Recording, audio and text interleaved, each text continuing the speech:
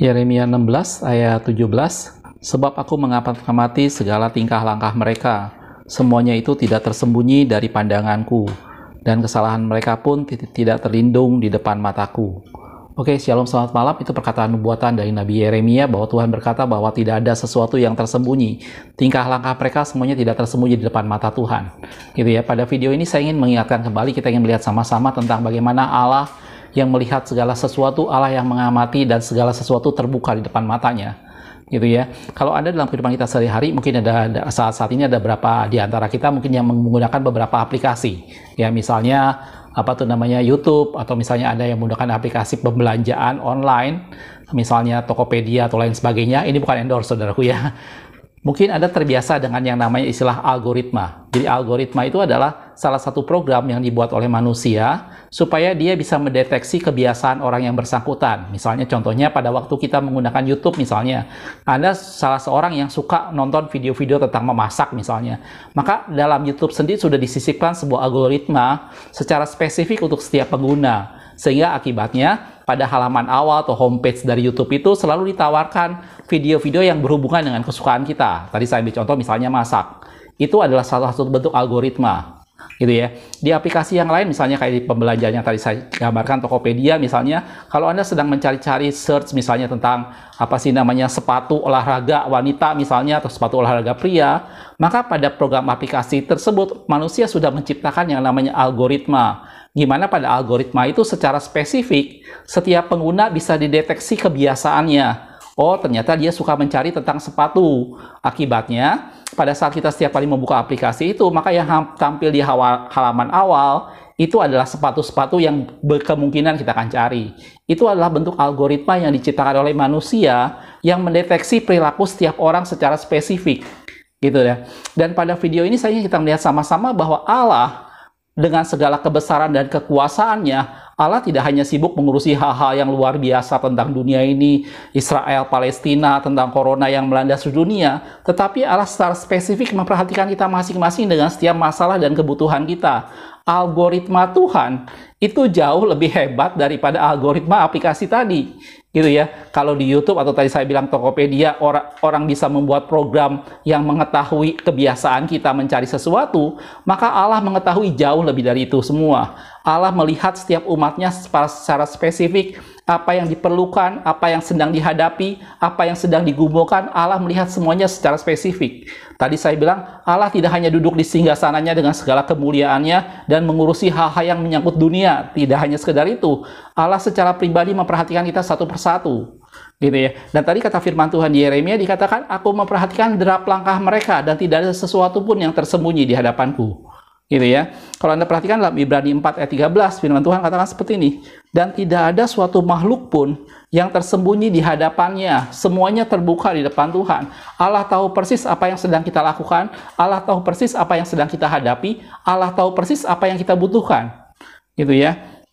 Sebab segala sesuatu telanjang dan terbuka di depan mata dia yang kepadanya kita harus memberi pertanggungan jawab. Jelas saudaraku? Jadi algoritma Tuhan itu jauh lebih canggih jauh lebih hebat daripada algoritma yang dibuat manusia pada beberapa program aplikasi yang tadi saya jelaskan. Jelas saudaraku. Jadi Anda dan saya tidak perlu khawatir, Anda dan saya tidak perlu apa sih namanya uh, apa meragukan kemampuan Tuhan untuk mengetahui apa yang sedang kita hadapi.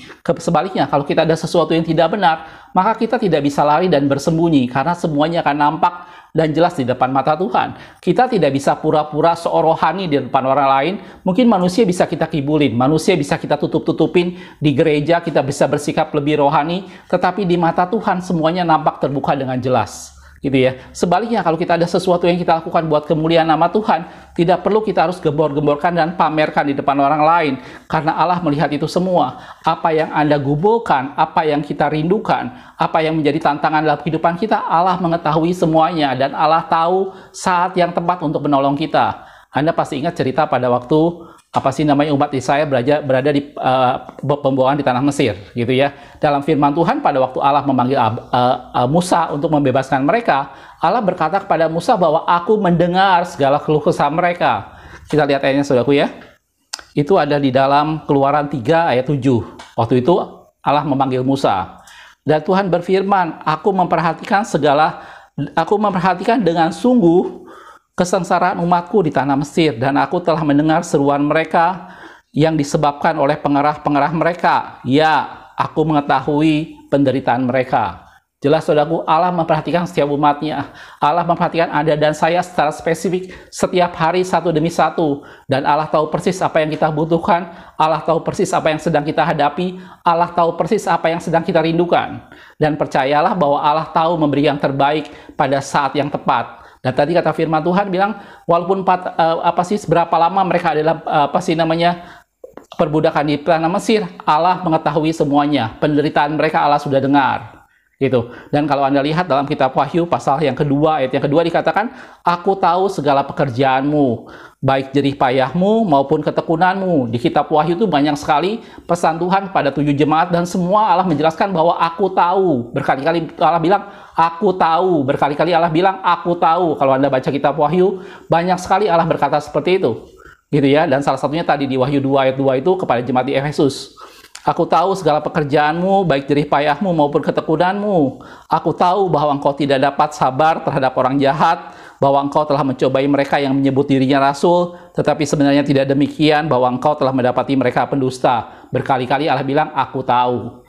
Jelas saudaraku, dari sini semua membuat Anda dan saya semakin bersyukur kepada Tuhan bahwa kita orang-orang pilihan Tuhan yang ditebus dengan darahnya dan dia memelihara kita seperti gembala yang baik memelihara domba-dombanya. Tidak usah khawatir dengan apa pun juga, tidak usah meragukan kemampuan Tuhan. Kalau Anda lihat aplikasi yang tadi saya sudah bilang, itu semata-mata hanya buatan manusia untuk mendeteksi perilaku setiap konsumennya. Tapi Allah kita jauh lebih dari itu semua. Dia bisa tahu apa yang kita perlukan, semuanya nampak jelas di depan dia.